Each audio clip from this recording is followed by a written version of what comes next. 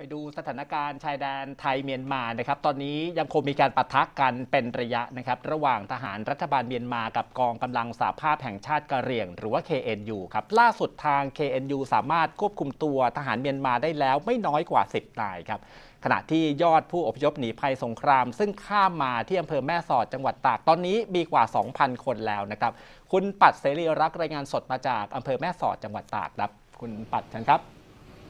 ครับคุณพึ่งนภาคุณอนุชาครับ สถานการณ์การสู้รบในฝั่งเมียนมาขณะนี้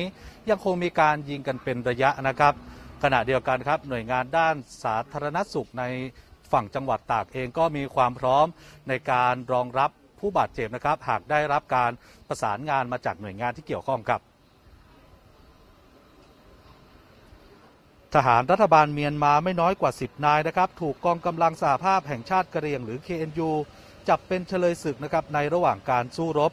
พร้อมกับอาวุธปืนจำนวนหลายกระบอกครับ ที่บริเวณด้านใต้จังหวัดเมียวดีประเทศเมียนมา หลังเกิดการประทะกันระหว่างทหาร KNU กับฝ่ายรัฐบาลเมียนมานะครับที่หมู่บ้านเลเตอก่อ บ้านมินลาปัน และบ้านผาผาลูนะครับตรงข้ามกับฝั่งประเทศไทย ที่บ้านดอนชัยตำบลแม่ตาวอำเภอบาบ้านแม่กุใหม่ท่าซุงนะครับตำบลแม่กุและบ้านแม่กลเกณฑ์ตำบลมหาวันอำเภอแม่สอดในช่วง 3 วันที่ผ่านมาครับ โดยเจ้าหน้าที่เคนยูแจ้งว่าฝ่ายกองกำลังสหภาพแห่งชาติกะเหรี่ยงนะครับได้ปฏิบัติต่อข้าศึกเป็นอย่างดี ไม่มีการทำร้ายใด ๆ ครับ ต่อเฉลยศึกที่ถูกจับกุจับกลุ่ม แต่อยู่ภายใต้การควบคุมของทหารเคนยูทั้งนี้นะครับการสู้รบของทั้งสองฝ่ายในช่วง 3 วันที่ผ่านมา ทหารเมียนมาเสียชีวิตและได้รับบาดเจ็บเป็นจำนวนมากครับ ล่าสุดนะครับยังคงมีการสู้รบกันอยู่บริเวณตรงข้ามบ้านดอนชัยตำบลแม่ตาวอำเภอแม่สอดจังหวัดตากครับ ขณะที่ทหารไทยและตำรวจตะเวนชายแดนจากกองร้อยตชดที่ 346 อำเภอแม่สอดนะครับ ยังคงตึงกำลังตามแนวชายแดนด้านอำเภอแม่สอดอย่างต่อเนื่องครับ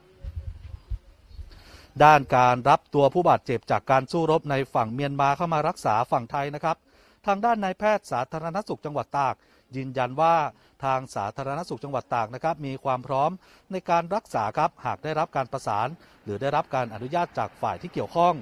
ซึ่งทางสาธารณสุขจะมีขั้นตอนต่างๆ ในการรับผู้บาดเจ็บมารักษาซึ่งมีการเตรียมการไว้แล้วครับ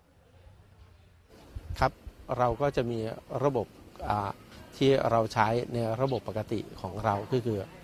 ระบบของการส่งต่อสถานบริการสาธารณสุข ตามระดับความเจ็บป่วย ความรุนแรงที่เกิดขึ้นครับ โดยที่เบื้องต้นก็จะส่งไปที่โรงพยาบาลส่งเสริมสุขภาพตำบลในพื้นที่ก่อน แต่ถ้ามีอาการรุนแรงมากก็ต้องส่งที่โรงพยาบาลแม่สอดครับ ขณะนี้เราได้ส่งเจ้าหน้าที่สาธารณสุขเราเข้ามาประจำอยู่ในพื้นที่ครับสำหรับเรื่องของการคัดกรองกลุ่มที่อพยพเข้ามาครับครับ ก็จะมีการซักประวัติเบื้องต้น มีการคัดกรองดูสภาพอาการต่างๆ ประเมินอาการทั่วไปครับ จนถึงขณะนี้นะครับผู้หนีภัยจากการสู้รบได้เดินทางข้ามมายังฝั่งไทยจำนวน 3 ครั้ง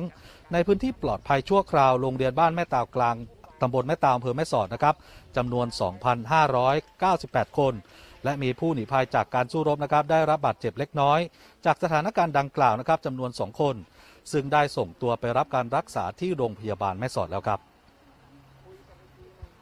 ครับด้านกองกำลังป้องกันชายแดนของฝั่งไทยยังคงตรึงกำลังอยู่ที่บริเวณตามแนวชายแดนครับ ซึ่งก่อนหน้านี้ได้มีการยิงกระสุนควัน แจ้งเตือนไปยังฝั่งตรงข้ามจำนวน 2 นัดครับ เพื่อให้ทั้งสองฝ่ายนะครับทราบว่า